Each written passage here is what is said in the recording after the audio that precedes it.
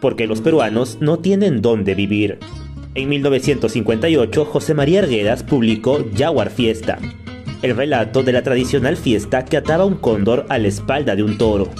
Pero escondido en esa novela estaba el relato del más grande despojo de tierras producido en el Perú. Los campesinos que fueron expulsados por las familias ricas, que buscaban más tierras para sus ganados, sembríos y minas. Es el origen de la gran falta de terrenos que sufrimos los peruanos, porque esos campesinos fueron forzados a migrar a la ciudad y empezar desde cero una nueva vida, sin agua, sin luz, sin herencia y sin vivienda. La historia es como sigue. Dos pueblos enfrentados. Por aquel entonces las provincias del Perú se dividían en dos sectores. La ciudad principal, donde vivían los mistis o principales, y las pampas de las alturas, donde vivían los comuneros criando a sus animales. En la plaza están las mejores casas, la iglesia, el juzgado, la escuela, la municipalidad, la cárcel, todas las autoridades que sirven a los vecinos principales, todas las casas, todas las gentes con que se hacen respetar, con que mandan. Los mistis respetaban las tierras de los comuneros, pues la puna era grande y había espacio para todos. Pero a partir de 1950 Lima empezó a crecer y a solicitar más productos de la sierra, los mistis vieron en la creciente demanda de carne una oportunidad de negocio. Cuenta Arguedas que los mistis empezaron a llevar reses a la costa, donde las vendían y se volvían platudos, según sus palabras. Entonces se acordaron de la puna y empezaron a quitarle sus tierras a los campesinos para sembrar la alfalfa que comían sus reses. Fuera trigo, fuera cebada, fuera maíz, alfalfa, alfalfa, fuera indios. Como locos corretearon por los pueblos comprando, engañando, robando toros, torillos y becerros. Eso era pues plata, billetes nuevecitos, y andaban desesperados, con revólver a la cintura y cinco o seis mayordomos por detrás. El despojo.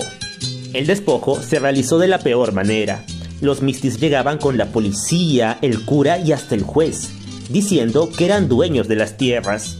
Los comuneros no comprendían, pues solo hablaban quechua, y el juez aprovechaba para hacerlos firmar los papeles, y una vez firmados les comunicaba. Señor Santos es dueño de estos pastos. Todo, todo, quebradas, laderas, puquiales, es de él. Ahora don Santos va a ser respeto, va a ser patrón de indios que viven en estas tierras, Dios del cielo también respeta la ley. Pronto, la puna empezó a llenarse de cercos, haciendas y minas protegidas por guardias armados.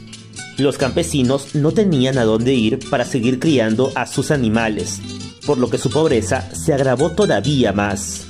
La prensa no llegaba hasta esos lugares alejados, por lo que los únicos que narraron estas injusticias fueron los novelistas. Arguedas, Manuel Escorza, Luis Valcárcel, la historia era básicamente la misma en distintas partes de nuestro territorio. Una idílica comunidad de pronto era despojada por las grandes familias y empresas. Lo más indignante es que aquellos despojos se realizaban con total impunidad, pues la policía, el Congreso y hasta el Poder Judicial estaban de parte de las familias con poder. El gran pecado de los comuneros, no hablar español. Las autoridades se burlaban de sus títulos de propiedad escritos en quechua, provenientes de la época colonial. Por ejemplo, en la novela Garabombo el Invisible, Manuel Escorza cuenta la historia de Garabombo, un comunero que año tras año se acercaba a las oficinas del Poder Judicial para exponer su caso, pero nunca era escuchado, porque se expresaba en quechua. Era, literalmente, como si no lo vieran. Por eso el título, Garabombo el Invisible. La resistencia. Luego vino la respuesta de los comuneros. Viéndose desvalidos, empezaron a formar asociaciones. Se alzaron líderes populares, con el apoyo de los partidos de izquierda. Algunos se radicalizaron y hasta se levantaron en armas. Todo un movimiento de reivindicación se extendió por la sierra. Sin embargo, la resistencia solo duró un par de generaciones. El mismo Arguedas cuenta que los hijos de aquellos comuneros ya no estaban interesados en aquellas tierras lejanas, sino que se habían mudado a la ciudad. Fue el inicio de la gran migración peruana. En todas las provincias cundió como una fiebre el ansia de conocer la capital, llegar a Lima, ver, aunque fuera por un día, el palacio, las tiendas, los autos que se lanzaban por las calles. Esa era la mayor aspiración de los lucaninos. Allí comenzaban desde cero, durmiendo en cuartos alquilados o en la casa de un amigo. Habían sido arrojados de sus tierras para venir a la periferia de la ciudad, a poblar los cerros y asentamientos humanos. Lima se hizo cada vez más grande, mientras que la puna quedaba desolada. Andaban casi sin saber dónde. Llegaban a las plazas y se sentaban en una banca a veces horas de horas, viendo pasar a la gente y a los autos. Pero en esos parques, tarde o temprano, se encontraban con sus paisanos. Uno de ellos llevaba al otro a su cuarto, y así, poco a poco, se establecían. Sin embargo, ya nunca más regresaban a su pueblo. De hecho, la novela de Arguedas es una parodia de lo que en el pasado fue el Jaguar Puncha y verdadero. Ahora la fiesta es organizada por los migrantes que vuelven a sus provincias un par de veces al año, para emborracharse y olvidarse de sus problemas. Pero pasadas las fiestas retornan a la ciudad, dejando su pueblo abandonado, hasta el próximo año.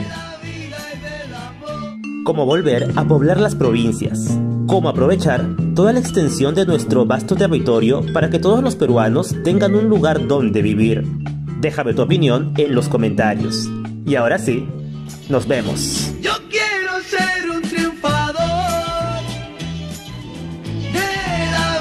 Del amor.